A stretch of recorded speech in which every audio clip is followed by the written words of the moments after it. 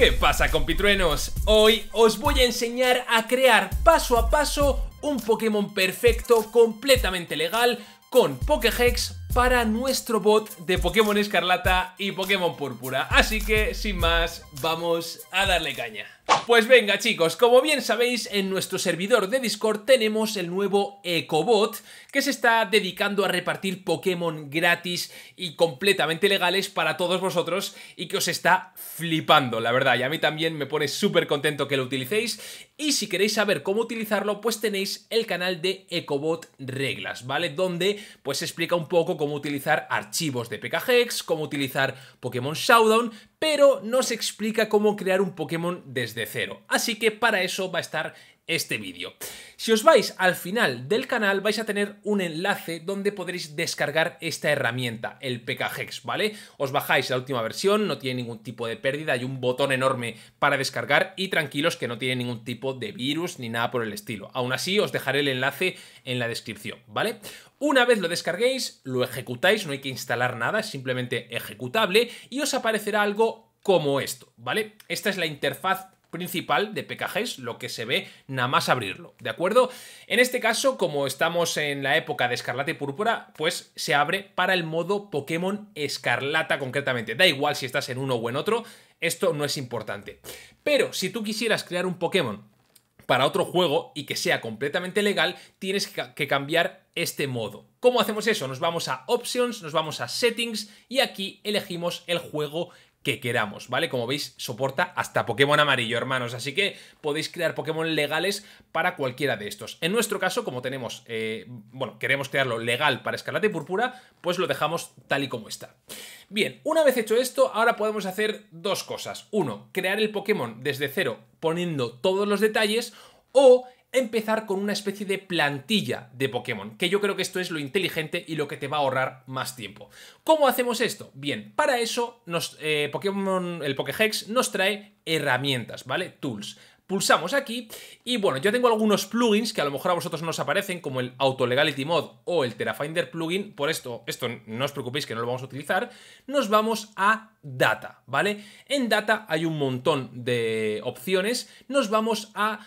Eh, base de datos de encuentros, ¿no? Encounter Database. Esto es una herramienta que nos va a permitir, pues, buscar un Pokémon como si lo hubiéramos encontrado tal cual en nuestro juego. Fijaos, si le damos aquí, nos abre una pestaña aparte, que voy a intentar centrar para que la veáis perfectamente, ahí está, donde nos eh, da la opción de elegir un Pokémon, el que nosotros queramos. Vale, vamos a poner que el Pokémon que queremos crear es un legendario, ¿de acuerdo? Por no crear un Pokémon cualquiera normal, pero vamos, os voy a enseñar el ejemplo con, eh, primero, yo qué sé, vamos a poner un... Esto me lo... Garganakel, por ejemplo, ¿no?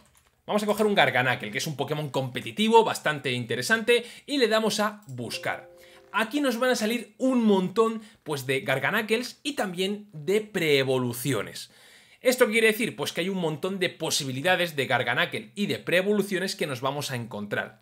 En este caso, pues podríamos elegir la que quisiéramos. ¿Cómo elegimos una? Pues pulsando botón derecho y dándole a View. Una vez has hecho esto, en el propio juego, en el propio PKHex, se te va a poner un montón de información de ese Pokémon. Yo siempre os recomiendo que elijáis los que vienen de huevo porque suelen ser Pokémon que no dan ningún tipo de problemas de legalidad, ¿de acuerdo? Cuando viene el huevecito aquí es que este Pokémon es criado de huevo. Si coges otro de aquí es alguno que puede ser de incursión o que puede ser de encuentro salvaje y esos Pokémon a veces tienen limitaciones. Esto ya son detalles un poco técnicos, pero esto es una cosa que tampoco vamos a entrar muy en detalle. Voy a ir directamente al tema del legendario, ¿vale? Vamos a coger y vamos a hacer un Chiyu, ¿vale? ¿Por qué? Porque si buscáis un legendario, lo que os va a ocurrir es esto de aquí. Y es que solamente hay un posible Chiyu. ¿Por qué solo hay un posible Chiyu? Porque en efecto en el juego tú solo te puedes encontrar con uno, ¿vale? Así que te encuentra este y punto pelota. Le das a botón derecho, ver y en ese momento, bueno, puedo cerrar esto o apartarlo, vais a ver que tenéis ya todos los detalles de Chiyu completamente legal en vuestro eh, Pokéhex, ¿vale?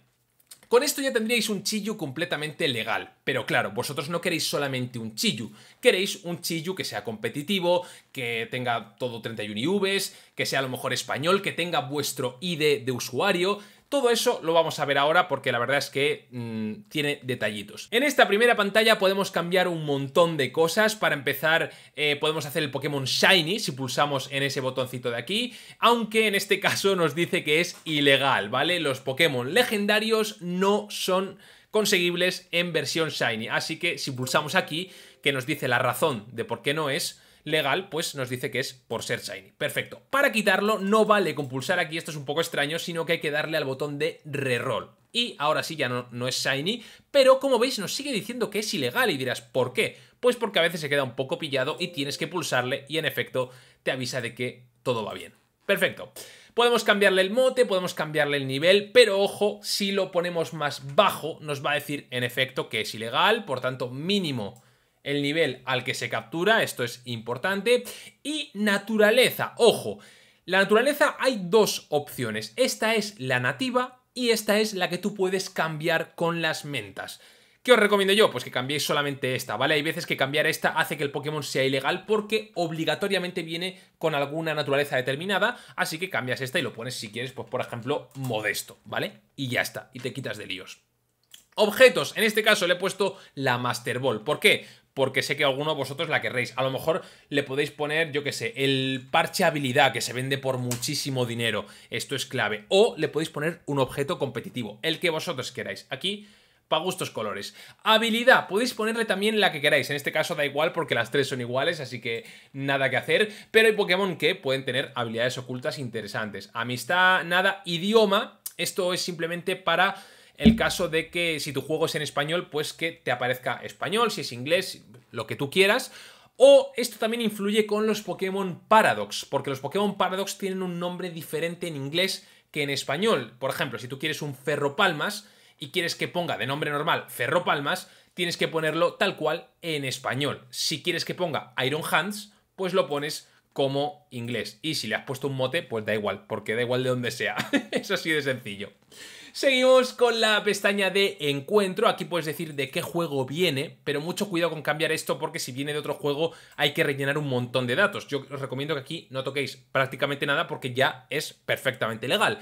Eso sí, a lo mejor queréis cambiar la Pokéball, que yo lo sé que sois muy pillos, así que aquí podéis poner la que os apetezca. Obviamente una Pokéball que aparezca en este juego, no vengáis y pongáis pues la Heavy Ball de Leyendas Arceus, porque esto te va a decir que tururú, que es ilegal, ¿vale? Por tanto, poned, yo qué sé, la que más os guste, que parezca interesante. Yo le voy a poner la Entebol. ¿Dónde está la Entebol? Es Bisbol. Ahí está, esta Pokéball es maravillosa. Ahí está. Y esta sí que es perfectamente legal. Ok, seguimos con el apartado de estadísticas. En este caso me voy a entretener bastante porque hay muchas opciones. En este caso, como veis, no me ha salido con todo 31 IVs, pero si yo quisiera cambiarlos no tendría ningún problema, ¿vale? ¿Por qué? Porque estos legendarios pueden aparecer perfectamente con todo 31 IVs, por tanto, si yo hago esto, el Pokémon va a seguir siendo legal, no voy a tener ningún problema.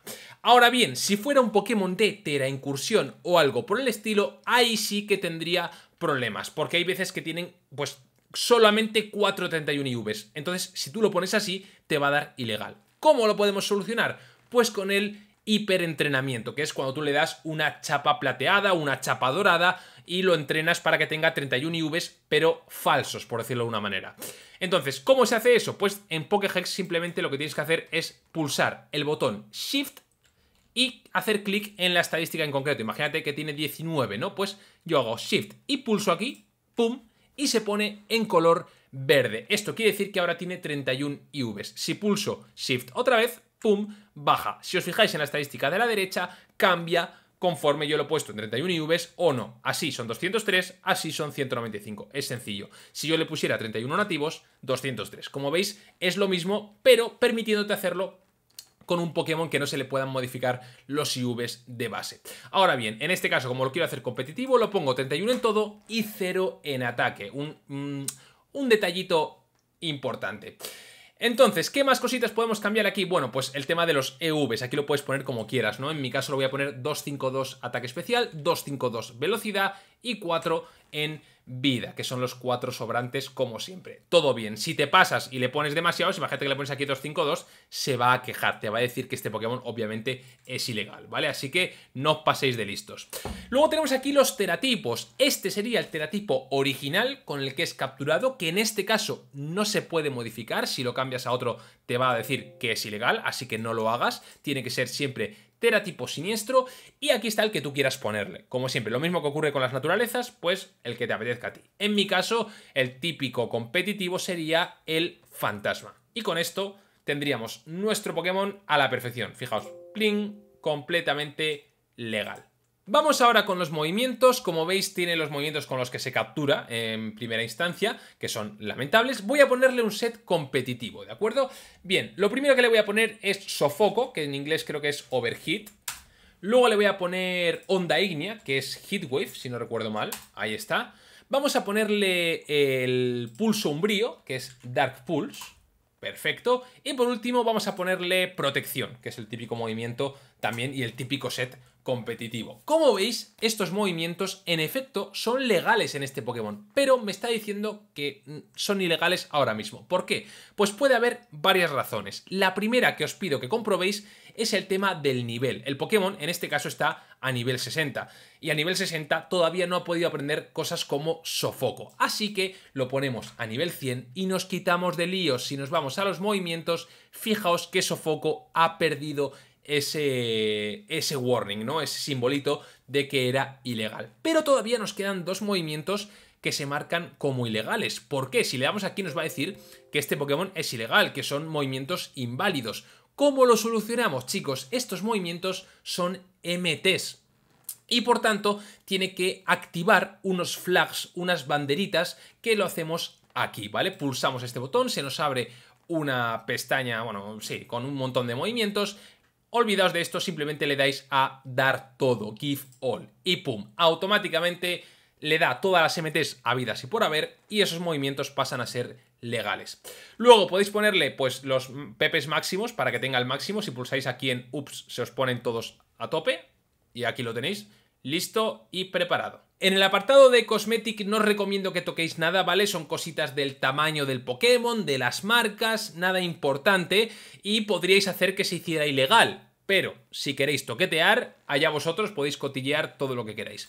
Y por último tendríamos el tema del entrenador, que esto sí que es importante porque mucha gente pues quiere tenerlo pues como si fuera suyo capturado y aquí hay que tener en cuenta bastantes cositas. La primera, podéis cambiarle el nombre de entrenador para que sea el mismo que en vuestra partida, en mi caso bastaría con poner eco, pero esto no es suficiente para que mi juego lo reconozca como mío. Hay que cambiar bastantes más cositas. Para empezar, si yo elegí chico al empezar, pues esta marca tiene que ser la de chico. Si elegí chica, tiene que ser esta. Lo siento mucho, tiene que coincidir con vuestra elección inicial porque si no, no va a reconocerlo como si fuera vuestro. Pero además, tenéis que conseguir el TID y el SID de vuestra partida. El TID es el Trainer ID, el ID de entrenador que podéis conseguir en vuestra tarjeta de entrenador del propio juego, es decir, es un número público que podéis conseguir fácilmente, pero el SID no es público, es secreto y único de tu partida. Por tanto, para conseguirlo vas a necesitar hacer una especie de truco que te voy a explicar a continuación. Pero antes, ¿es suficiente con esto? No, hay más cosas que tener en cuenta. Para empezar, el tema de cuando lo encontraste, es importante que pongas el juego en el que tú eh, lo quieres tener, ¿no? Como propio. Porque si lo pusiste, que lo encontraste en Pokémon Púrpura, por ejemplo, y tú juegas Escarlata, no te lo va a reconocer como tuyo, porque obviamente estás jugando Escarlata, así que obviamente no es tuyo. Y aún más, también tienes que ponerlo en el idioma en el que tengas tu partida, ¿vale? Que están en otras pestañas y la gente no lo sabe, pero es importante, ¿de acuerdo? Ahora sí, cuando has hecho todo eso, ¿cómo podemos conseguir este SID? Y es muy, pero que muy sencillo. Básicamente lo que tenemos que hacer es intercambiar un Pokémon que hayamos capturado nosotros con el bot. Y diréis, mm, ¿pero esto por qué? Pues porque cuando tú le intercambias un Pokémon al bot, este bot te va a mandar un mensaje donde te envía un fichero que puedes abrir en Pokéhex con los datos de ese Pokémon que tú le has mandado. Os lo voy a enseñar. Fijaos, aquí tengo mi conversación con el Ecobot y como veis, después de terminar un intercambio, eh, yo le pedí un Iron Bundle, que es el ferrosaco, el Delivery de Paradox, y yo le mandé un Voltor. Él me ha mandado un fichero con ese Voltor que yo puedo abrir perfectamente, lo puedo descargar aquí pulsando este botón, lo puedo descargar y abrirlo en Pokehex y entonces voy a ver el ID de mi entrenador a la perfección. Ahora bien, antes de abrir nuestro Voltor en el Pokéhex tenemos que guardar el progreso que tenemos con este Pokémon. Entonces lo guardamos en cualquiera de las cajas pulsando botón derecho y set o arrastrando directamente desde aquí y lo dejamos en la caja, lo que queráis. Una vez lo tenemos ahí guardado temporalmente para no perder toda la configuración que hemos hecho, podemos arrastrar el Voltor directamente al Pokéhex. ¡Pum! Y como veis, aquí tenéis mi SID y mi TID directamente del, del, propio archivo del Pokémon que yo capture, ¿vale? Si este Pokémon no lo has capturado tú, esta información no será tuya, ¿vale? Será del que lo haya capturado, pues allá de donde venga. Por tanto, ¿qué tenemos que hacer? Pues o apuntáis en un papel los numeritos, los de tu SID y tu TID, y luego lo escribes en el Chiyu, o te lo guardas aquí, que es lo que suelo hacer yo para ir más rápido y directamente copio y pego, ¿no? Copiamos el SID, pulsamos botón derecho en el Chiyu y lo escribimos aquí, lo volvemos a guardar en la caja para que no se borre y volvemos a ver en el caso del Voltor, en este caso el Trainer ID. Venimos aquí, se lo ponemos y ya lo tendríamos. El Pokémon a la perfección con nuestro SID, nuestro TID, nuestro género, el juego, todo. Lo tenemos todo a la perfección y ahora sí llega el momento de mandárselo al bot. Ya estamos aquí en el canal de Ecobot Pedidos, escribimos el comando trade y adjuntamos el fichero que lo tengo por aquí. Ahí está, el chichu. Y si todo ha ido bien, en teoría nos debería decir que es completamente legal. Lo mandamos, lo recoge pum, añadido a la lista. En mi caso estoy en la posición número 2 porque hay alguien intercambiando ahora mismo, así que me va a tocar esperar. Pero el bot me habrá escrito, supongo, ahí está, diciéndome el código que yo voy a tener que usar. Tenéis que estar ya preparados con la Switch, conectados a internet, ponéis el código, esperáis y en cuanto os diga que podéis intercambiar, le dais y os lo manda. Y hasta aquí el vídeo chicos, espero que os haya gustado, que os haya sido útil porque me, lo habéis pedido muchos, así que aquí lo tenéis completamente detallado y nada, reventad ese botón de like, apretad el botón como si no hubiera un mañana y nos vemos en el próximo vídeo. ¡Chao! ¡Chao!